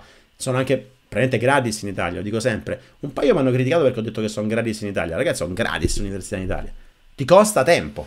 Sì, quello, ok. Se quella è la critica, se la critica il fatto che io dico che l'università è gratis in Italia e che in realtà costa 3 anni o 5 anni, quello ok. Allora dico, beh, hai ragione, costa 3 anni, alto costo. Punto di vista economico, non... quanto, quanto spendi? Cioè, vai a chiedere agli americani quanto gli costa laurearsi. Questo mi è stato già fatta questa domanda, credo. Pensiero critico e religione, che ne pensi? Uh, io sono... Ah, che bello, parliamo di religione. Rischiamo che ormai abbiamo fatto solo input selection per oggi, poi il resto lo tocchiamo. Ci vediamo 50 live su questo argomento. Spero di non distruggervi i testicoli. Dico, uh, oh, pensiero critico e religione. Io nasco turbo ateo. Eh, nel tempo ho smussato di molto miei, le mie argomentazioni. Oggi sono, mi definisco più agnostico. uh, sono... Vediamo, non, non, lo so, non so cosa c'è e non... E non, e non e non metto la firma su, co, su nulla. Sicuramente metto la firma contro le, le, cazzate che vengono dette dalle attuali religioni fatte dall'uomo, pensate per l'uomo, con in testa un uomo che, che fa così, però è molto affascinante no? La, l'aspetto metafisico di tutto, cioè pensare che siamo in una simulazione, se, se, se stiamo... ci sono 40 divinità, che in realtà siamo un esperimento di un ragazzino divino, di, una, di un mondo decidimensionale, siamo un compito in classe, e adesso voi bambini per, fate un universo e noi magari siamo il bambino un po' svogliato che ha fatto il nostro universo e si diverte a lanciare fulmini e saette. lo so, è divertente. Eh, trovo che sia un po' limitante accontentarsi dei pacchetti preconfezionati delle religioni che conosciamo, no? Proprio pacchetti preconfezionati molto improbabili, no? Proprio estremamente improbabili. E quindi credo che il, il fanatismo, cioè il, il, convincersi, no, no, aspetta, su questo libro magico c'è scritto che la, la mela, la costola e la, diluvio universale.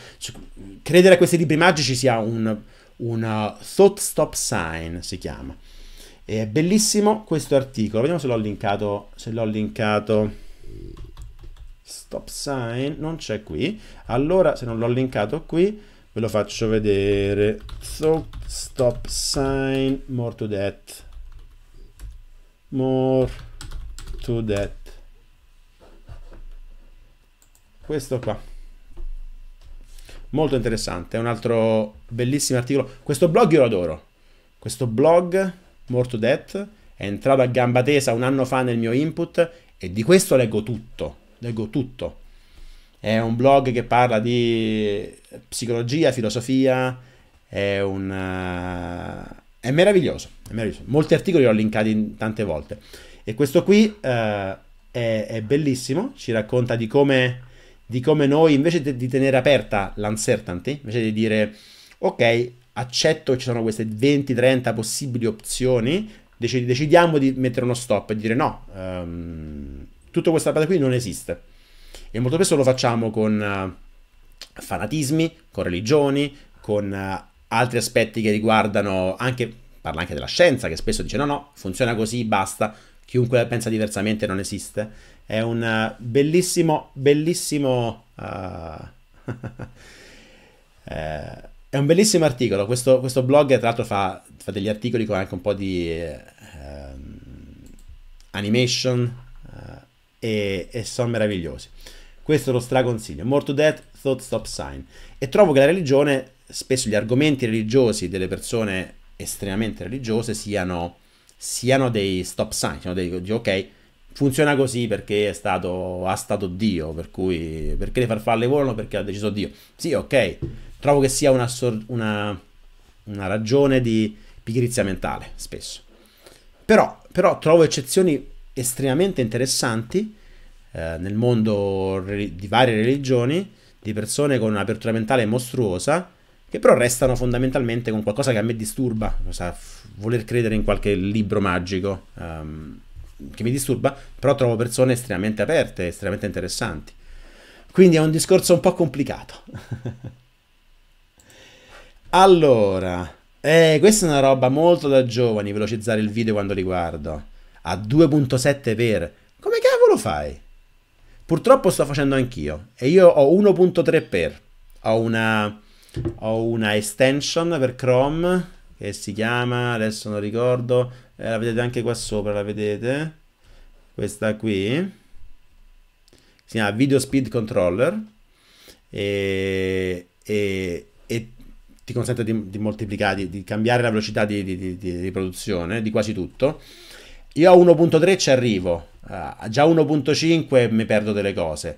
A 2.7 ormai tu sei, sei, sei, hai problemi. Te lo dico perché mi raccontava un, un, mio amico che ha figli, ha figli 14 anni, 15 anni, due figli più o meno vicini, due maschi, e dice loro non si annoiano a vedere qualunque cosa, non possono vedere la televisione perché non possono mandarla più veloce, che ormai leggono tutto, ascoltano tutto a 2 per, 2,5 per, e quindi qualunque cosa abbia una velocità live, real time, li ammazza. Tu starei morendo qua perché sono lento, dovrei parlare più veloce, dovrei... quindi aspetta che finisca e poi mi rivedi a 2.5 per. È troppo. Però un po' sì, a 1.3 per ci sono arrivato anch'io e talvolta trovo che sia meglio. Alcuni canali che sono particolarmente lenti, eh, alcune sorgenti che sono lente, si possono ascoltare anche un po' più veloce. Ho paura che diventi un'addiction, non lo consiglio. Mm. L'attenzione è la via maestra per la produttività. Pensi che sia così? Assolutamente sì.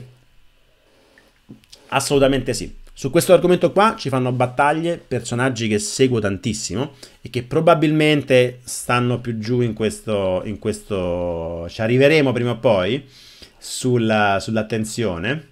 E in realtà uh, vediamo un po' se da qualche parte sì, ma penso di aver messo anche deep work. Il mondo della, del deep work e del digital minimalism. C'è Cal Newport, che è una persona che io adoro. Uh-huh. Vediamo, Cal Newport. Mm, questo, questo qui è un altro video che vi consiglio di Cal Newport per chi sta cercando di trovare un bilanciamento tra skillarsi e appassionarsi. Questo tante volte l'ho citato. È una specie di TED Talk, non è un TED Talk, è una conferenza di Adobe, eh, la 99U Conference. Madonna come è lento a, ca- a, caricare pagine mentre sto streamando. Eh, lui si chiama Cal Newport, ha scritto diversi libri, tra cui eh, Deep Work, tra cui questi due qua che ho spesso citato.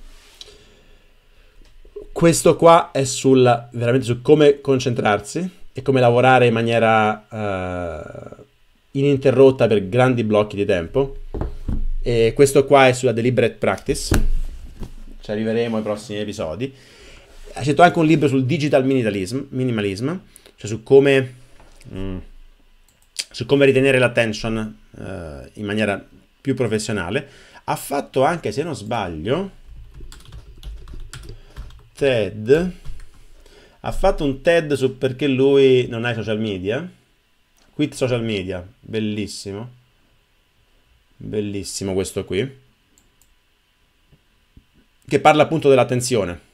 È un TEDx di Cal Newport. Cal Nevport.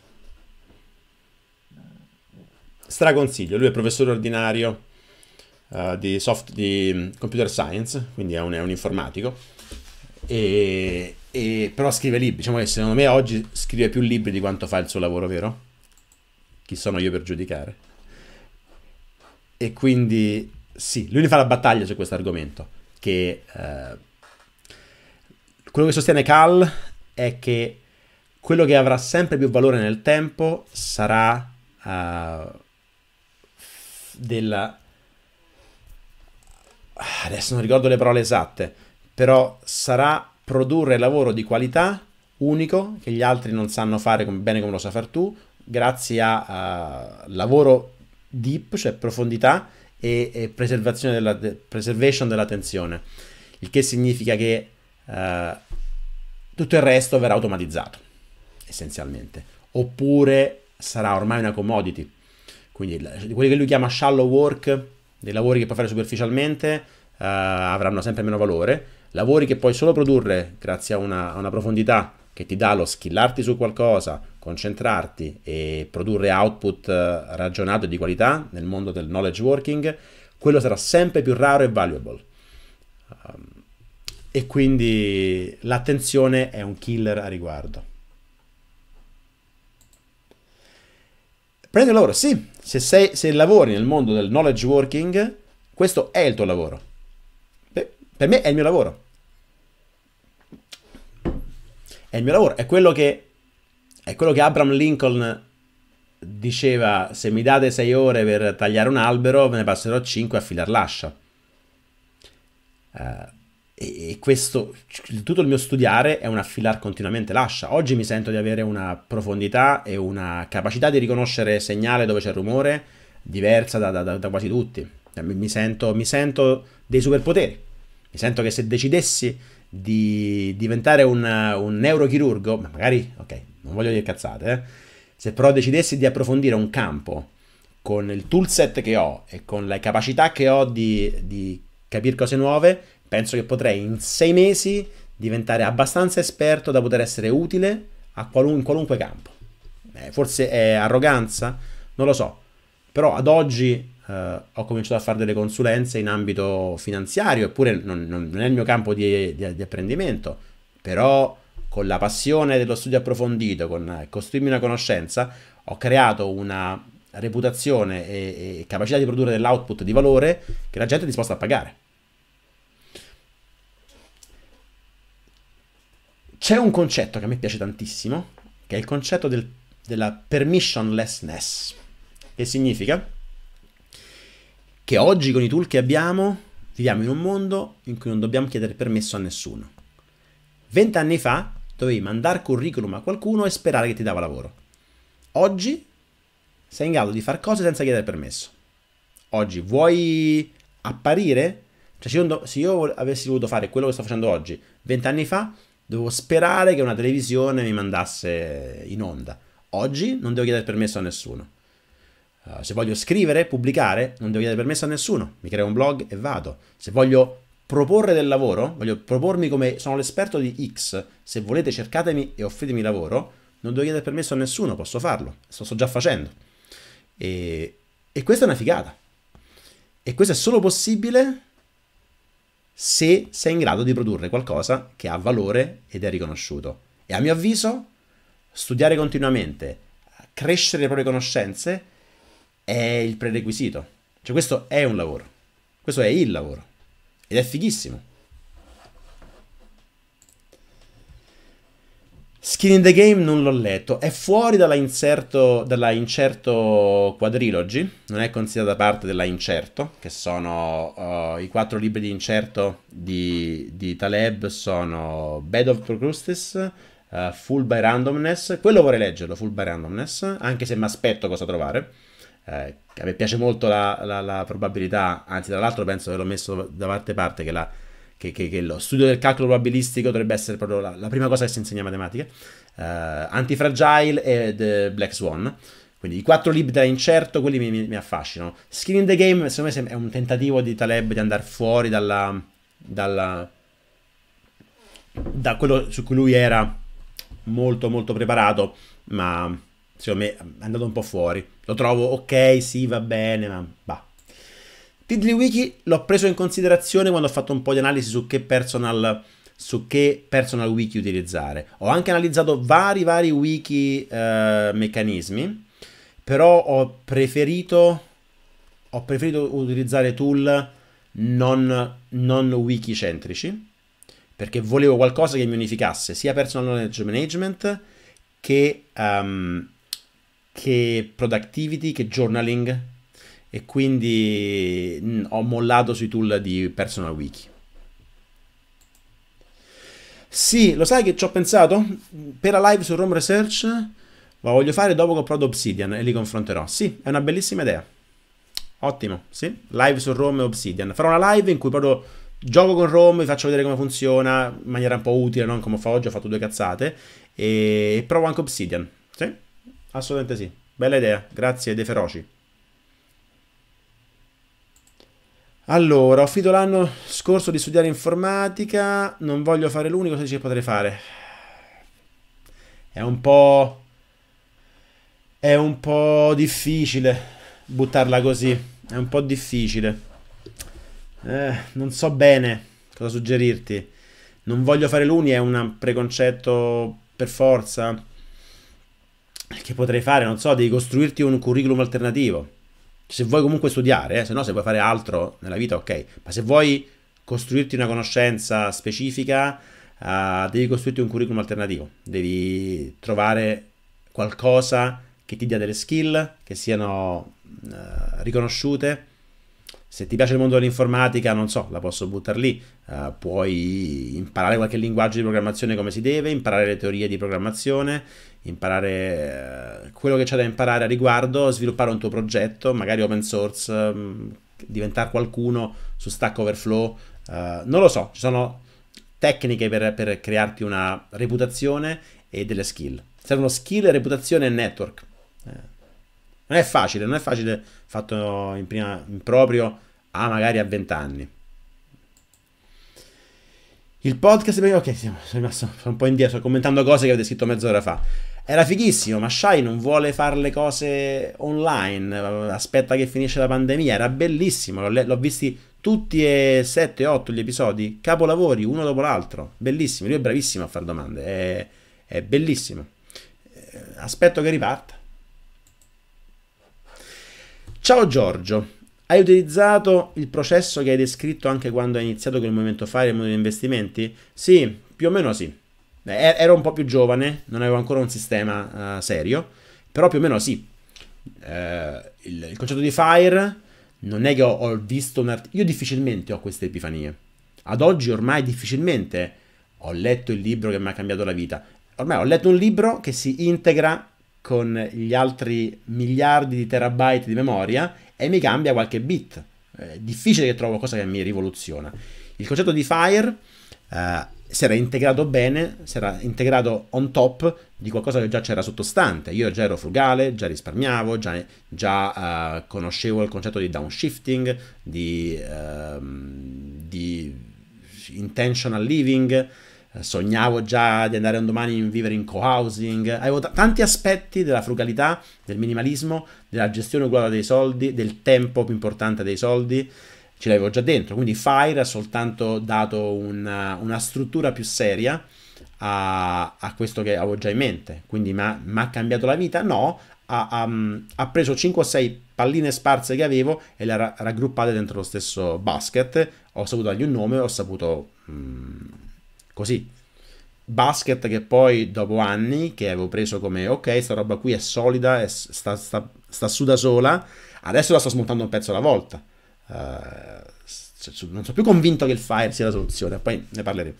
Uh, però questo così, anche investimenti sì, ho, ho, ascoltato e pensato cente volte prima di agire. Ho, ho affinato la mia lama per 5 ore prima di tagliare il mio albero.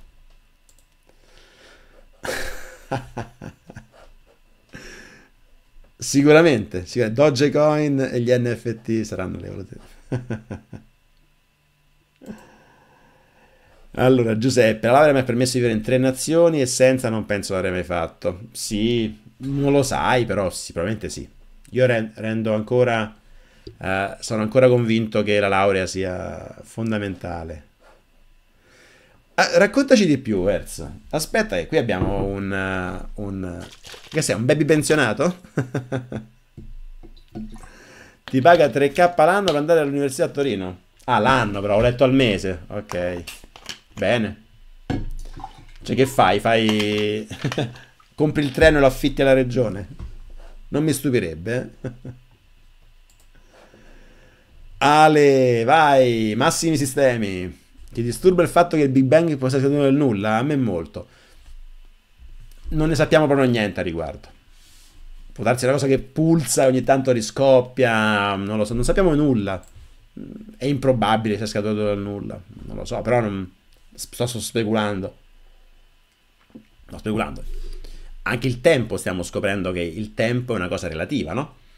Eh, può darsi che eh, non ha senso parlare di prima perché il tempo è nato col Big Bang. Non lo, non lo so, ammetto che da queste domande mi sono un po' distanziato. Mi interessa sempre il senso di tutto, però uh, sugli, uh, sugli assiomi, proprio assiomi, assiomi, assiomi di, di livello così, alcuni mi, con, mi concedo di, di, prenderli per buoni, finché in assenza di, di migliori prove questa è l'ipotesi al momento più, più sensata e la prendo come buona. Quando un domani avremo altri dati, anche difficile ormai avere altri dati, uh, così.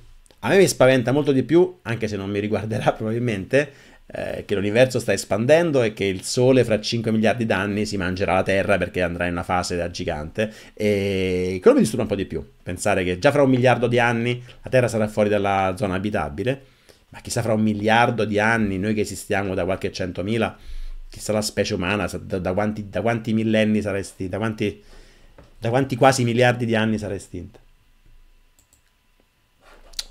Allora, l'università non è gratis, 150 euro di tassa di iscrizione e fine, senza contare la borsa di studio se la meriti, se non fa nulla anche 1000 euro di tasse giustamente. Eh, 1000 euro ragazzi, oh. In America sono 50, 50 pippi l'anno in America eh, di tuition. Dove è possibile usare il mio... Già se me lo chiedi, non hai fatto neanche la fatica di andare a cercarmi. Se vedi due live fa, se vedi due live fa, ho fatto due ore e mezza di live sulla, su, sulla fine, su fine quarter in cui ho commentato tutto quanto. Allora. Oh cavolo, no, questa me la sono ancora persa. La scimmia con l'impianto... Ne- allora, su Neuralink e su tutto quel mondo lì, ovviamente, ovviamente il buon, tanti anni fa ormai, il buon Wait But Why, quando fece la serie su Elon Musk nel 2017, perché, perché Wait But Why non, scrive, non produce più? Perché? Perché? Uh, Wait But Why è un altro di quei, di quei posti dell'internet uh, che, che, non si possono non aver divorati. Se non l'avete ancora fatto, andate tutti via, sparite da qui, anche perché fra un po' spariamo fra fra dieci minuti ce ne andiamo. Ma Wait But Why è un altro di quei canali che vanno per forza devastati, eh, consumati. E, e niente, lui praticamente ha fatto una serie infinita sulla conoscenza, su, su Neuralink alla fine è arrivato anche, su come funziona il cervello.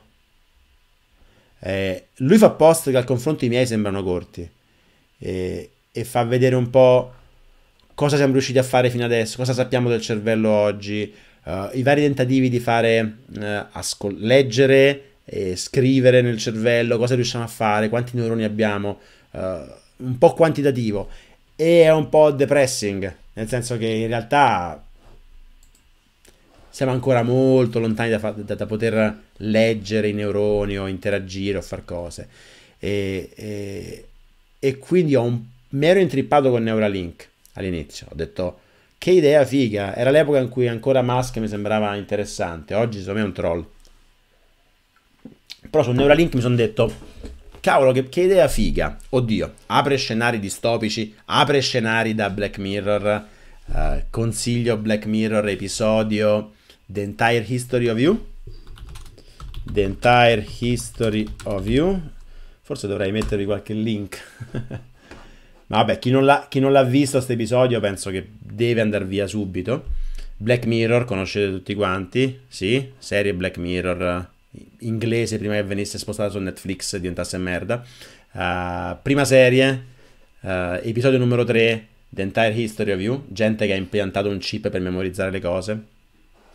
Vedere immediatamente. E dico, Neuralink l'ho un po' abbandonato, ho detto, bah sì, non penso andare da nessuna parte. Oggi mi dici che c'è una demo della scimmia con l'impianto che gioca a ping pong? Sicuro che oggi è che non sia il primo aprile? Neuralink demo? Sarà questa? 13 ore fa? Oh mio dio. E allora Monkey Explained Non l'ho vista. Me la bookmarco? in Watch Later e, e via. No, dice impressionante, eh? Vabbè, poi la, la, la analizziamo con le, le, le, lenti del critical thinking. Ma live non posso farlo, devo cambiare computer. Vedo che non, non riesco a gestire eh, troppe cose così. Me la guarderò. Grazie del suggerimento. Allora, che ore sono? Sono già le 5. 10 minuti e poi vado. Vedo tanti commenti ancora. Vediamo un po', vediamo qualcosa. Uh, ingegnere, lavoro da un anno, uh, carriera verso deep learning, computer vision, PhD o azienda. È un ambito in cui un PhD aiuta e le aziende ti pigliano meglio se c'è un PhD. Non ti so dire dove però, è un mondo che non ho, l'ho saltato a piedi pari, non, non, non ti so dire dove. Allora, Marco, a proposito dell'attenzione, come fare per limitare le distrazioni e concentrarsi sulle cose da fare? Eh, consiglio Digital Minimalism di Cal Newport, Però non l'ho letto, però ho, ho visto, ho partecipato alla challenge, 30 giorni, sono molte strategie, e Digital, Mini, Digital Minimalism Cal Newport, è il suo penultimo book, eh, ne ha scritto un altro più recente che è A World Without Email, eh, lui è critico anche verso le email, io le, le email le trovo abbastanza tollerabili, sono uno strumento uno strumento non da notifica, ho tolto anche le notifiche sul telefono per le email. Però Digital Minimalism ha diverse strategie, dalle book review che ho letto e da un, tutti i post di Cal Newport sul suo blog, um, su come poter fare per, uh, per rimuovere le distrazioni. Ci sono le app sul cellulare che ti limitano alcune cose, il tracking, io faccio time tracking e time blocking. Uh, Cal Newport suggerisce molto di fare time blocking. Uh, io aggiungo anche time tracking. Time blocking significa, ne parliamo un'altra volta, è, un po' tosto. Però è, è, disciplina della mente, varie strategie, uh, anche, anche, fare un po' di meditazione ti aiuta a, a essere più focused. Però è una skill che devi, devi, devi, dovete, dovete, dobbiamo, dobbiamo coltivare, dobbiamo coltivare tantissimo il, l'attention span, tener, proteggerlo. Allora, allora, Hertz ci, ci chiede, pensi che questo filtro, credo che tu parli dell'input filtering, snobismo o arroganza, magari ignorare cose importanti per altri ma superficiali per te, mm, potrebbe un minimo, potrebbe. Uh, non, non, è molto chiara la domanda, non ho capito benissimo la domanda. Penso che tu intendi. Mm, alla fine io filtro le informazioni che entrano. Uh, la gente non sa cosa filtro. Cioè, o se intendi il filtro del critical thinking, quindi andare a fare il cagagazzi, il nitpicking, uh, dire no, aspetta. È ovvio che se vai alla, alla cena di Natale con, con gli, gli zii eh, razzisti e ti dicono ah perché tutti gli immigrati sono negri oddio ho detto la parola proibita su eh, è ovvio che lì andare a dirgli però aspetta zio su, sulla base di cosa dici lì rischi di rovinarti il Natale. Però se ti circondi di gente e questo ovviamente lo consiglio se ti circondi di persone che come te hanno fame di, di verità e non di aver ragione eh, lì eh, sei in un ambiente sano. E un ambiente sano può permetterti anche di essere cagacazzi uh, e di essere, di apparire, non direi snobismo o arroganza, non, non, li reputo, non, non, mi sembra, non ho mai percepito atteggiamenti snob, snob arroganti. Eventualmente magari rompiscatole. Eh, con gli amici, con un gruppo di amici che ho, noi ci attacchiamo ogni cosa, attacchiamo, attacchiamo l'idea, non la persona, no? attacchiamo, ah secondo me il mercato domani crolla, ah sì perché? Dimmi, motivamelo. C'è, c'è, una, c'è una continua richiesta di dati e di prove e non uh, aggrapparci a secondo me funziona così. Quindi non, lo so, non lo trovo snob arrogante. In una, in una, cerchia di persone mh, interessanti che voglio aver vicino, uh, comportarmi in maniera, mh, come dire, critica, scettica, e alla ricerca di conferme e di mh, mm, smontare le idee, trovo che sia soltanto sano per tutti. Che ne pensi del data scientist? Um, non so bene cosa si intende per data scientist, veramente. Ogni volta leggo una definizione diversa. Uh, chi è il data scientist? È il, il, quello che fa machine learning? Uh, big data? Uh, quant analyst? Mm, non lo so, sembra un po' una supercazzola come definizione. Cosa ne pensi della frase bisogna far riposare il cervello? uh,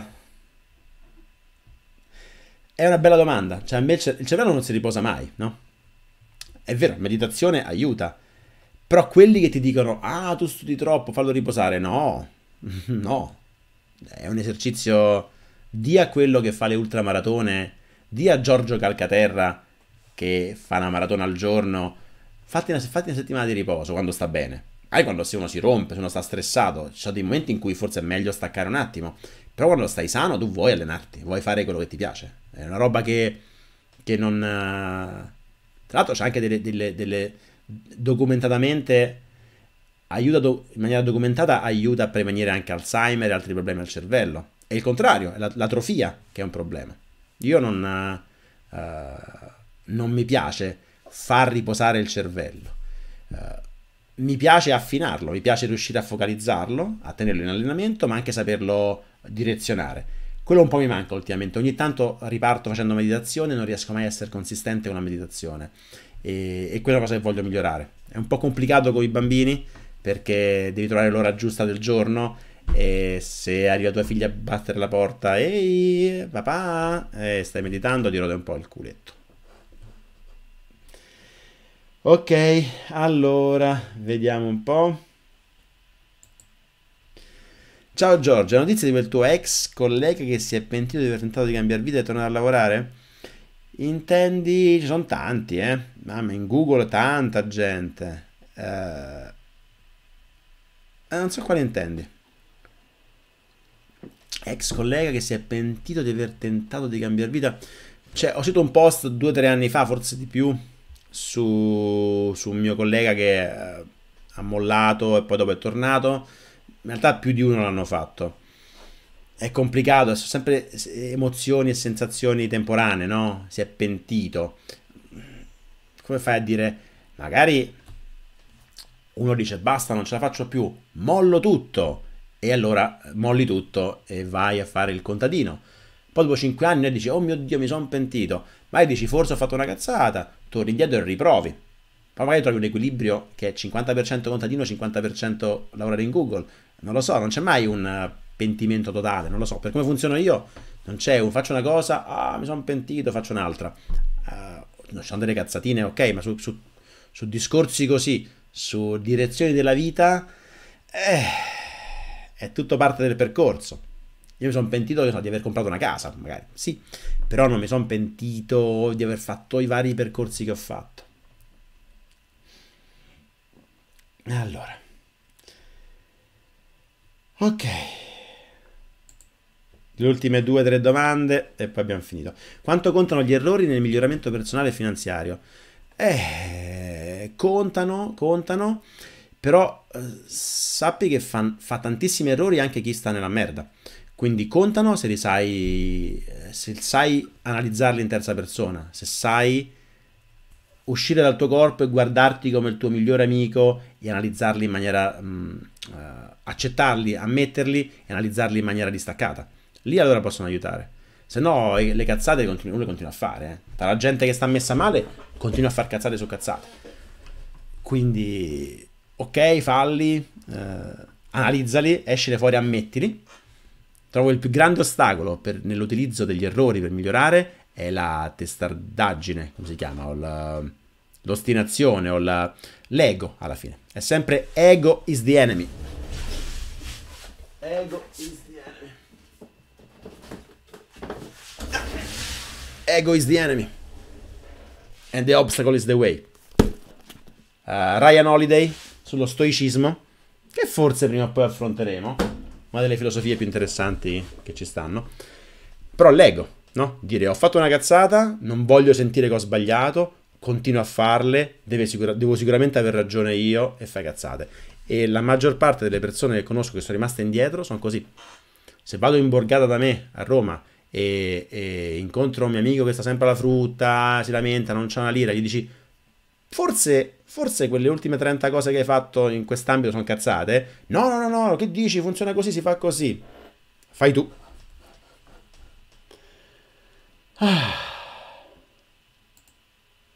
No, non conosco. Darò un'occhiata. Uh, uh, vedo che è partito un thread su um, Bibbia di Mauro Biglino. Me lo tengo aperto. Bibbia Mauro Biglino. Non ho idea di chi sia. Non ho idea di cosa. Non voglio scaricare il PDF. Ci sarà un video, ci sarà qualcosa. Me lo, me lo, me lo, gli darò un'occhiata. Non so proprio di cosa state parlando, gli darò un'occhiata. Ok, Giorgio, tu le notifiche disattivi, ma sul gruppo Telegram ce le invii. Eh, leva la notifica. Cioè, io mando sul gruppo, se tu sei curioso di sapere che sto facendo, vai sul, sul gruppo intenzionalmente e la leggi. Leva la notifica. no, non volevo essere offensivo, figuraci, mancherebbe. Eh, son... Spiegaci un po' cosa fa un data scientist. Non oggi, non ce la facciamo. Però poi ce lo spieghi. eh, questa in che senso dici? Non, non, non so di cosa parliamo. Ah, troppo complicato. Industria dei videogiochi, ora non c'è un problema. Ah, ciao Simone, non ti avevo riconosciuto. Ah, è un po' troppo stressante. E poi non voglio avere un capo. Quindi probabilmente tornerei, ma faccio il CTO con Jacopo. Se Jacopo è in ascolto, tu lo conosci? Eh, lo conoscerai sicuramente. Non so se stava con te a suo tempo, uh, nello stesso gruppo. Uh, no, farei, magari farei un mio videogioco. Oppure, uh, oppure farei CTO, qualcosa. ah, ok, lo recupererò. Grazie. Bene, ragazzi, sono le 5 passate. Devo andare a cogliere mia figlia al nido. E è stato un grandissimo piacere. L'avanzamento in termini di critical thinking è stato minuscolo, eh, però andremo avanti sempre in maniera disordinata. La prossima live magari stacco e facciamo una roba completamente diversa. Però poi ci torniamo, poi ci torniamo qui sul, sul critical thinking e la prossima volta, oggi abbiamo visto un po' come io gestisco i miei input. Ok? Prossima volta vediamo un po' di strumenti mentali per, uh, per leggere il mondo. Un po' di tool. Va bene? E magari poi arriviamo ai cognitive bias e poi dopo arriviamo verso finalmente verso il knowledge management e verso il deep work e bla bla bla. Ragazzi, è stato un piacere. C'è ancora qualcuno? E eh, ancora 78 persone, siete troppi. Vi saluto, è stato un piacerissimo. Alla prossima!